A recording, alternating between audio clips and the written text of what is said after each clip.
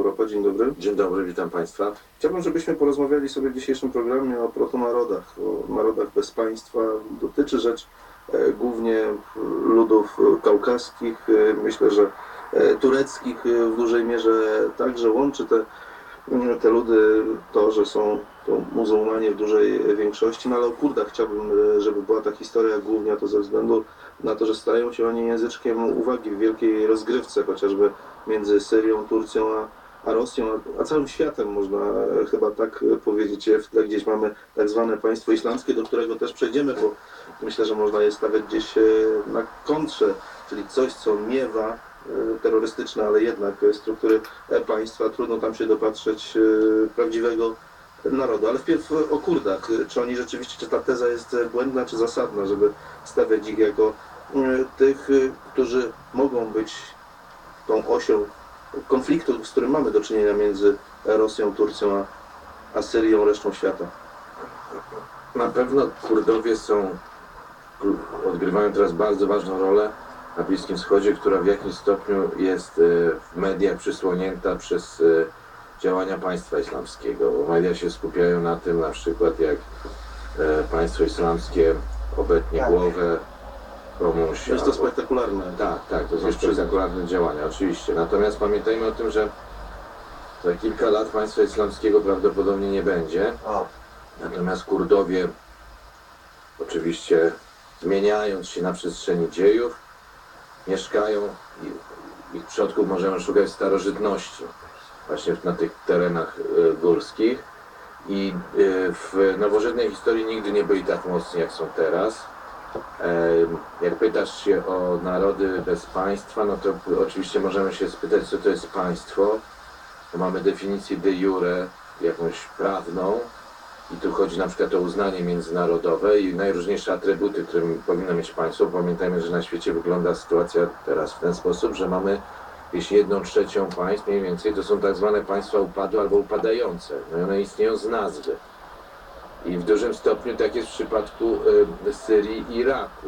o kurdach że mamy o y, kurdach, o oczywiście kurdach, granice państwowe, no ale o kurdach y, dzisiaj. te granice mają charakter no można O wirtualny, dzisiaj, o tak jak kurdach. kiedyś w Europie istniało święte cesarstwo rzymskie narodu niemieckiego podzielone na setki państewek i liczyli się ci gracze poszczególne państwa w, w ramach tego cesarstwa niemieckiego i tutaj też coś takiego jest, że jak spojrzymy na Kurdów, no to de jure nie ma państwa kurdyjskiego, ale de facto mamy w północnym Iraku tak zwany kurdyjski rząd e, regionalny, e, tak się nazywa ta autonomia kurdyjska i ma wszystko, co powinny, wszystkie atrybuty państwa, oprócz uznania międzynarodowego. Ma administrację, która działa.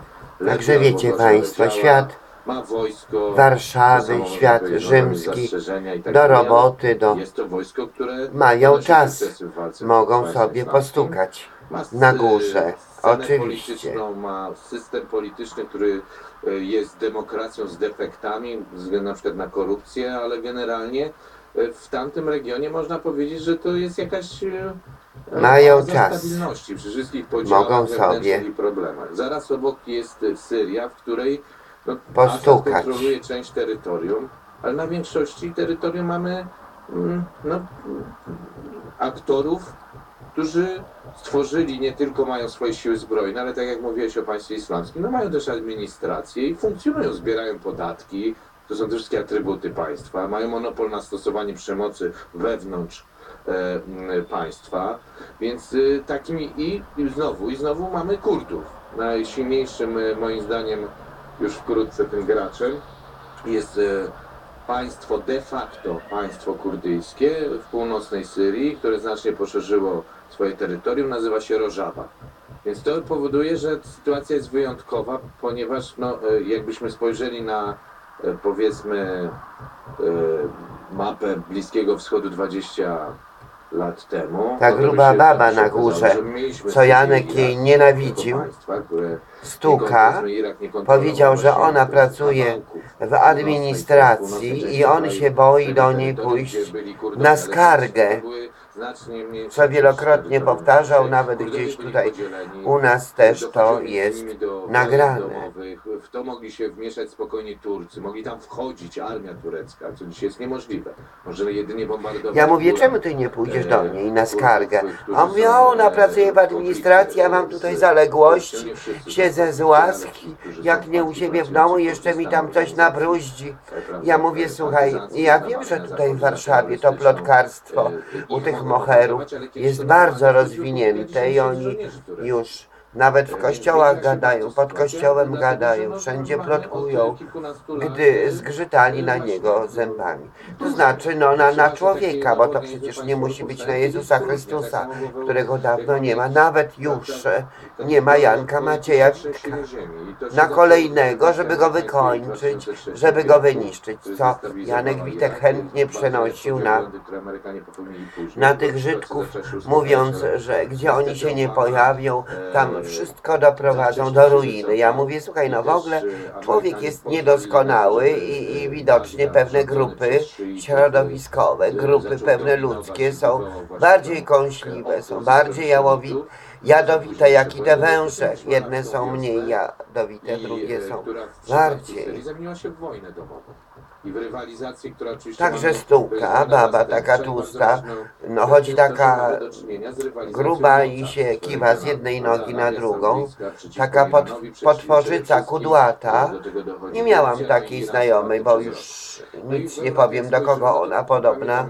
Do samej siebie. W takich okolicznościach po I wojnie światowej. Pamiętajmy, że Kurdowie się często powołują. Jak byłem w Kurdystanie, to miałem na przykład taką rozmowę, gdzie miałem takie pytanie, czy Polska, aha, bo wy byliście podzieleni i się odrodziliście po I wojnie światowej. Jak myślisz, czy coś takiego może się nam przytrafić? Kurdom? Kurdowie, ile, jak długo już walczą o to, by To to znaczy, państwa? to znaczy pamiętajmy o tym, że to nie jest tak, że mamy my monolit i przekonanie, że e, prawda e, powinno dojść do e, zjednoczenia wszystkich. Także e, tutaj, proszę części państwa, Choinka jest w Warszawie przez cały rok. Warszawa, choinka przez cały rok. Mroczna e, przyszłość w kraju nad Wisłą. e, dalszego Tak. tego, e, takiej degeneracji rozkładu Iraku, że mniejszym złem jest niepodległość północnego Iraku, czyli Kurdystanu południowego w tym przypadku, czyli Kurdów w Iraku. I wtedy mamy coś takiego, że tam powstanie państwo. I to by nawet na przykład Turcja byłaby w stanie się na to zgodzić. Ze względu na to, że to jest ten paradoks, że sama ma problem kurdyjski, i teraz mamy do czynienia e, z wojną w południowo-wschodniej Turcji. To nie jest wojna w takiej skali jak e, w Syrii, oczywiście w ogóle bez porównania, czy w Iraku, ale to jest wojna e, ze stanem wyjątkowym w niektórych miastach. I, ale ma dobre relacje z e, głównymi siłami e, kurdyjskimi w Iraku. I dla niej to by była taka strefa buforowa, e, taki można powiedzieć e, tampon, zderzak, e, taką rolę odgrywa Kurdystan, oddzielający Turcję od tego całego chaosu, który jest w, środkowym Iraku. I to jest plan, który jest dla Kurdów maksimum, prawda?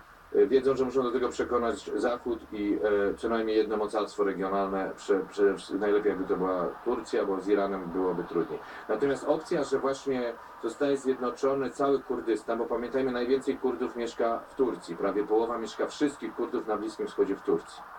I ta część Chyba Kurdów... najbardziej tam są prześladowani. Nie, nie, tak, bym- tak bym nie powiedział, e, dlatego że Mogą już używać języka, tak? tak, ich, ich no tak, nie no, te teraz, ustępstwa Turcji są dość znaczące mimo wszystko, ale Tak.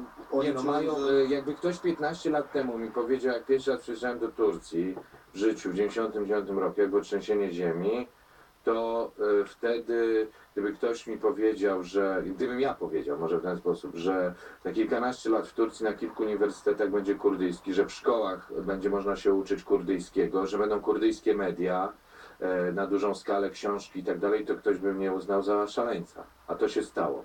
Więc prawo, Za chwilkę wrócimy do tej rozmowy o, o Kurdach i nie tylko. Adam Balcer jest moim Państwa gościem informacji Radia TK FM. Dzisiaj same ciekawostki, proszę Państwa, o Kurdach, o tym i o tamtym będziemy dyskutować, będziemy rozmawiać. Póki co mam bardzo dziwny telefon i mm, wysyłam SMS-y do, do Mareczka, do Anity, a to tu, a to tam.